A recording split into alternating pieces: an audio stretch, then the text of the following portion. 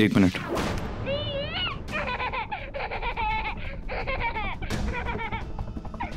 बच्चे के हंसने की आवाज़।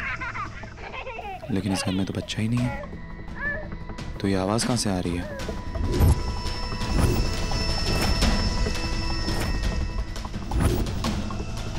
बुआ माँ जी के कमरे से।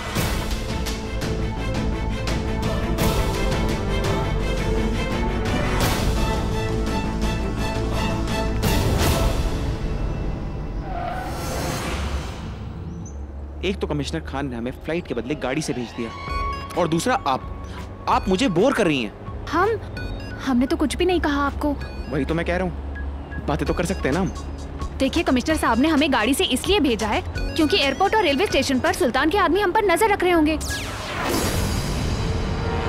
अ, वो अ, ऐसा कमिश्नर साहब ने कहा ना और जब से उन्हें पता चला है कि आप शिवाय सिंह ओबरॉय के भाई हैं वो आपकी सेफ्टी का ज़्यादा ध्यान रख रहे हैं। पर मुझे एक बात समझ नहीं आई जब कमिश्नर साहब को पता चल ही गया था कि मैं शिवाय सिंह ओबरॉय का छोटा भाई हूँ तो गाड़ी क्यों दी मैं भैया को बोल के चौपर मंगवा लेता यार। गॉड ये तो फेकू भी है। कुछ कहा आपने?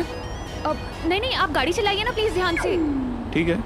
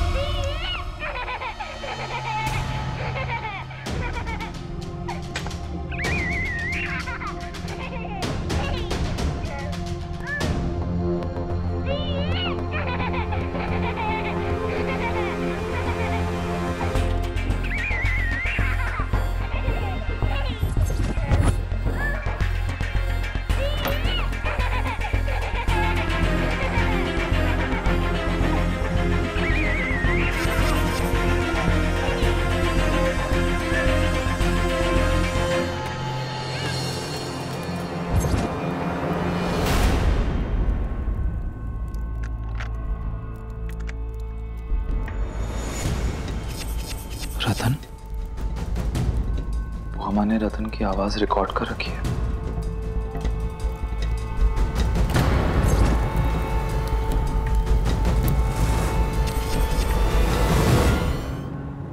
एक तो मैंने सोचा था आपके साथ लंबा सफ़र कटेगा। सुहाना कटेगा। और जैसा बॉलीवुड मूवीज़ में होता है ना हीरो हीरोइन चल रहे हैं। और अचानक से गाड़ी खराब हो जाए।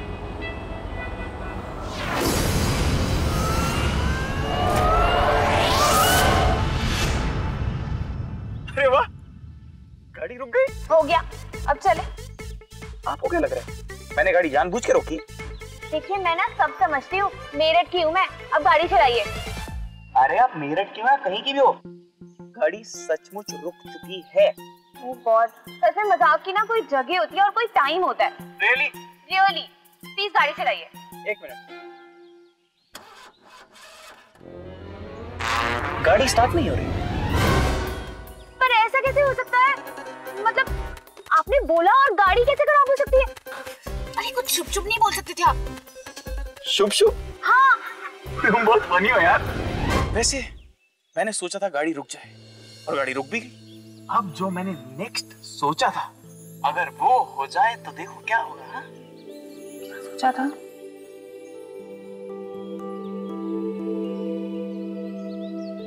मैं ये सोच रहा था कि आप और मैं इसी सुनसान रास्ते पे चलते रहे और गाड़ी रुक जाए। और फिर मैं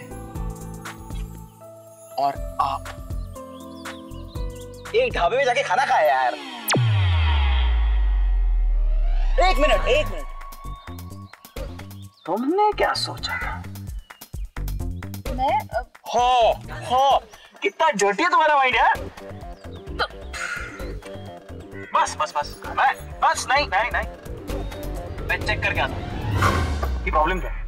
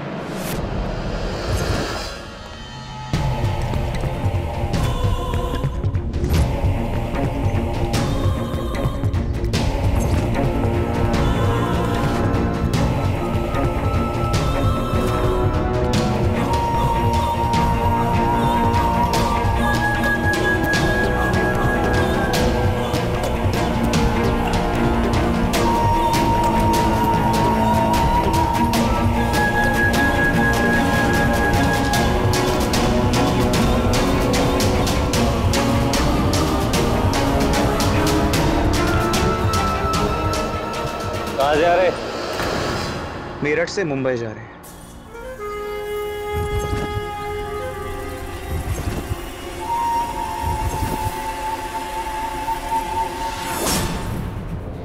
सोचना भी मत। बीवी है मेरी।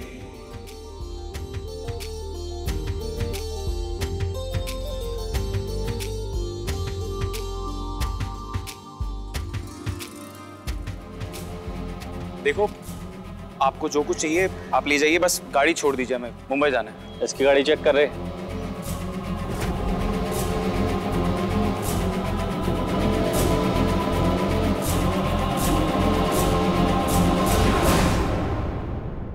ओमकारा जी ओमकारा जी।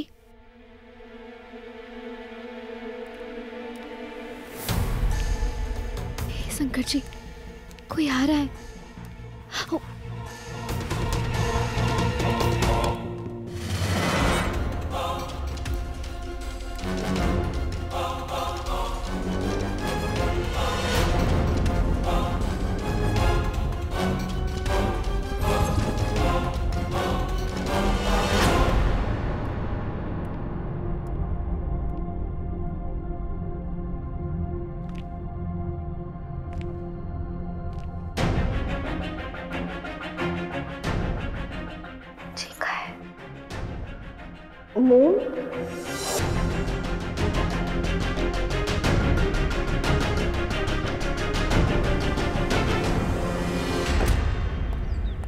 गाड़ी में तो कुछ भी नहीं है।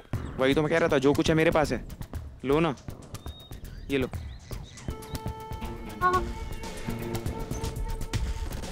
में क्या है? फ़ोन है ले लो ये भी ले लो। तुम सबको कमिश्नर सर ने भेजा था ना? जिस काम के लिए भेजा था वो हो चुका है। वो डर चुका है। अब जाओ यहाँ से। ए ज़्यादा खुशबस नहीं। कोई किराए के टट्टू नहीं है हम लोग। इसके हाथ से अंगूठी निकाल लो। ये हम नहीं देंगे। इतना मटेरियलिस्टिक मत बनो। अंगूठी के चक्कर में जान चली जाएगी। दे दो। नहीं।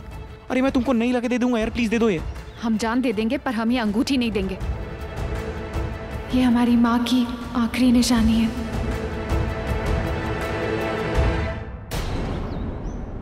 मत दो। भाई साहब ये अंगूठी ज़्यादा से ज़्यादा चार पाँच हज़ार की होगी। मेरी वॉच पंद्रह लाख की है। मैं जानता हूँ आप गरीबी की रेखा के नीचे वाले गरीब गुंडे हैं। आपको पैसों की ज़्यादा ज़रूरत होगी। और अगर आपको ज़्यादा पैसे चाहिए हो तो अपना अकाउंट नंबर दे देना, मैं पंद्रह बीस हज़ार ट्रांसफ़र करा दूँगा मुंबई पहुँच के। बेवकूफ़ समझ के रखा है क्या? अब इस अंगूठे के साथ ये लड़की भी जाएगी।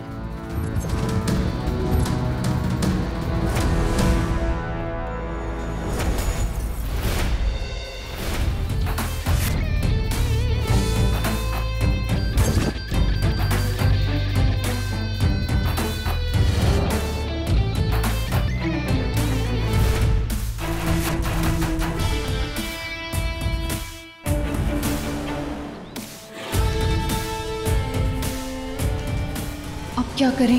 गन निकालें क्या? लेकिन अगर निकाल ली तो रुद्र को तो हमारी सारी सच्चाई पता चल जाएगी कि हम ए एसीपी हैं और पूरा प्लान चौपट हो जाएगा। गन नहीं निकाली तो जान भी जा सकती है यहाँ।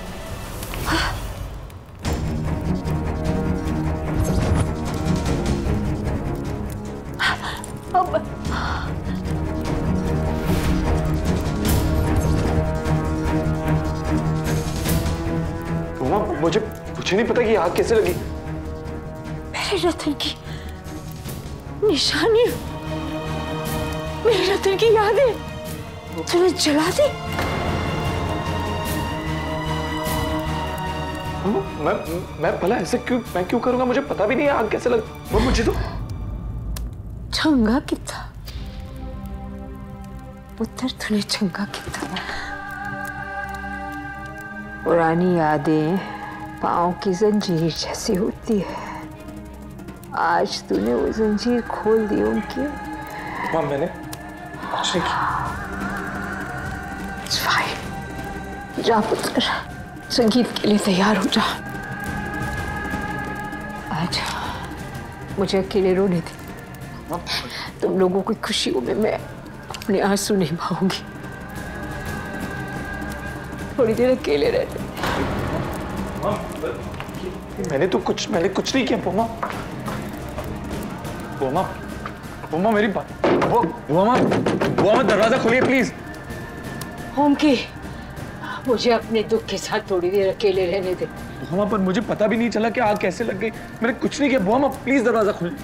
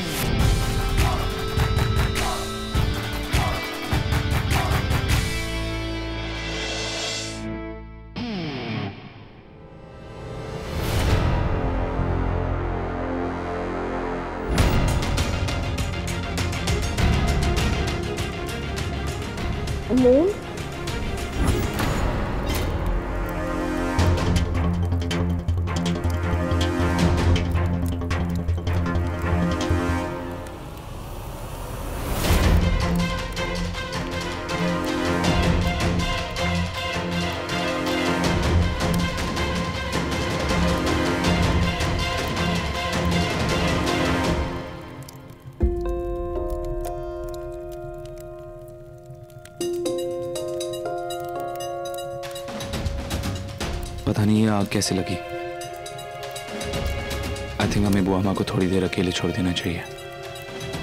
मैं फायर एक्सटिंग्विशर भिजवाता हूँ।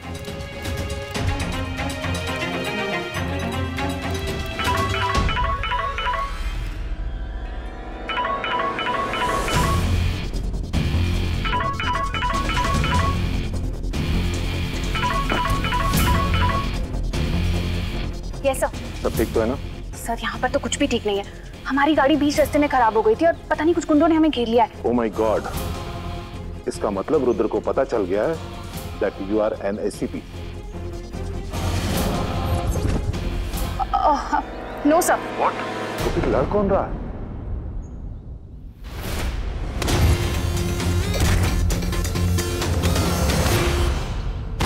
रुद्र सर आई थिंक हमने इस लड़के को अंडर एस्टिमेट किया है। दैट्स इवन बेटर अरे अगर तुम किसी प्रॉब्लम में फंसोगी? तो ये काम आ सकता है।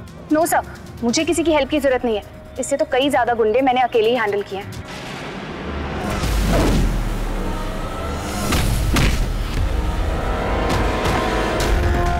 I'll just call you later.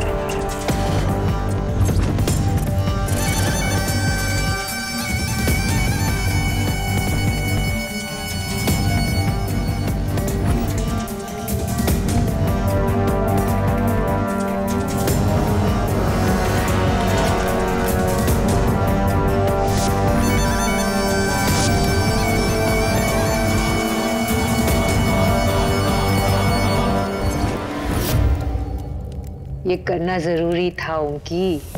तुझे गिल्ट देना, तुझे एहसास दिलाना कि तू गलत है। अब तू देख, संगीत के बाद इसी गिल्ट के सहारे अपना आखिरी दांव खेलेंगी। और वो दांव तुझे और गौरी को साथ ले आएगा।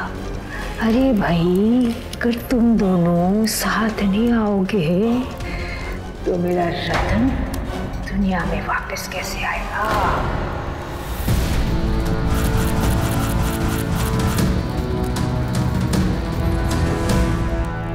अंगूठी चाहिए ना तुझे? उठ। अंगूठी चाहिए।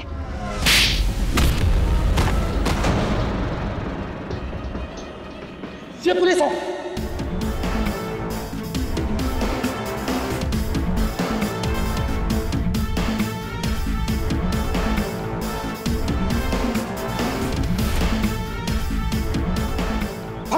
हाँ बेटा मैं पुलिस हूँ और मैं तुम सबको अंडर अरेस्ट कर लूँगा।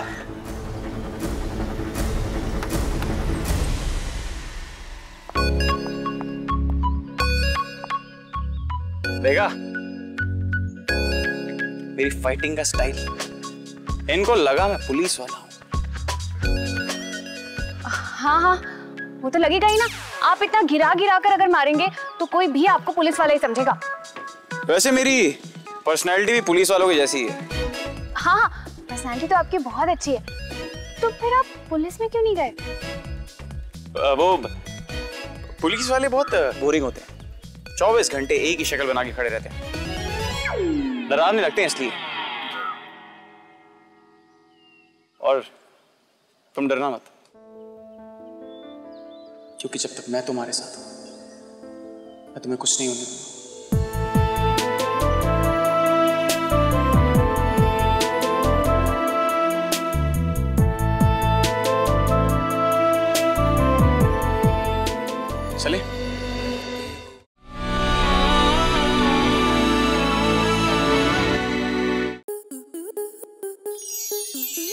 प्लस के ऐसे ही और बेहतरीन लम्हे देखने के लिए सब्सक्राइब करें हमारे यूट्यूब चैनल को।